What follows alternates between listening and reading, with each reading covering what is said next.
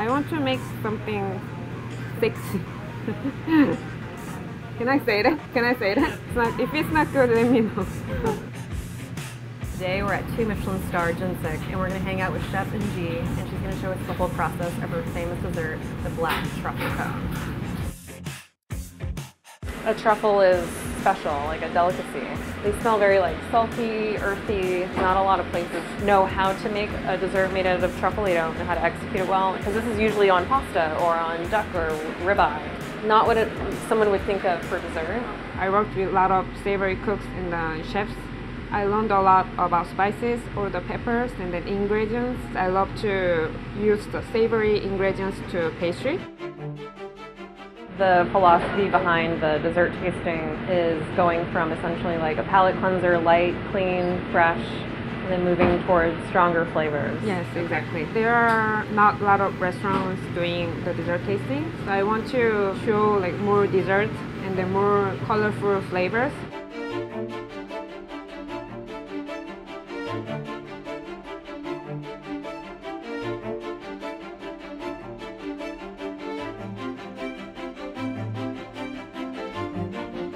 This is the last course of the dessert tasting menu. Only have for the truffle season. Okay, so it's very special. Yeah.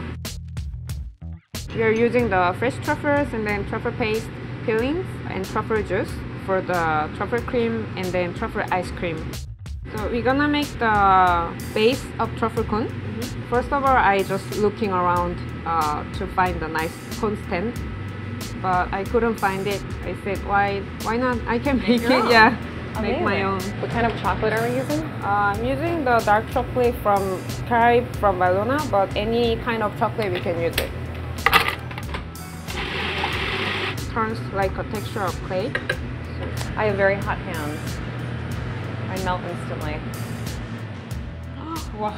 Yeah, oh, that's right. this is me all the time.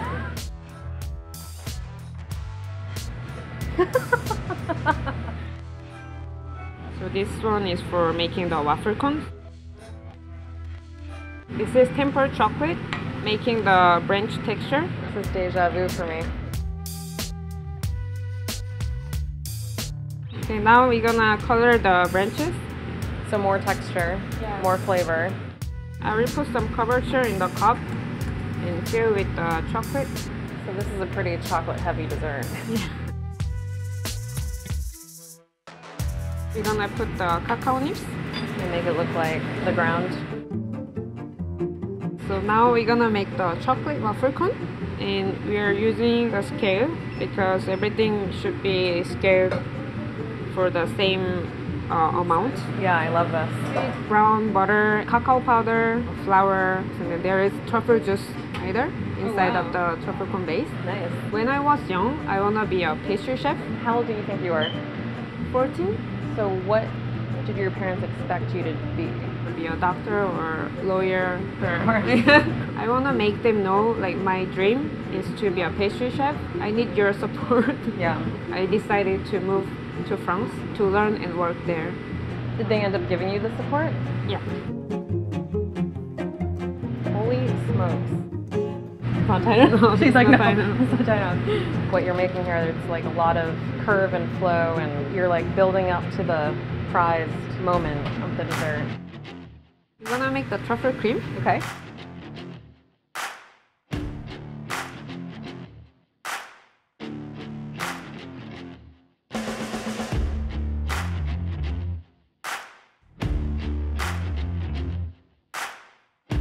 Smells so good.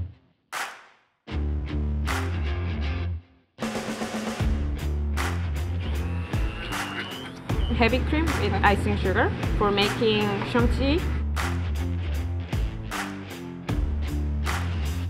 You wanna taste it? Yeah. Oh my gosh. That is really good. This is the last course of the dessert tasting menu with the truffle cone.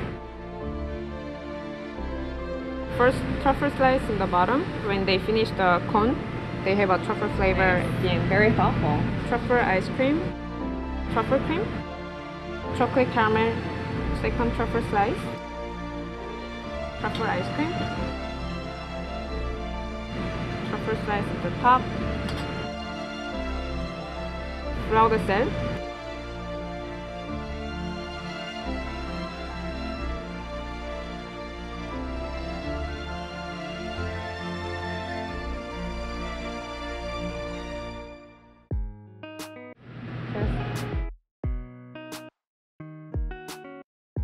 I have all this expression. Where's yours?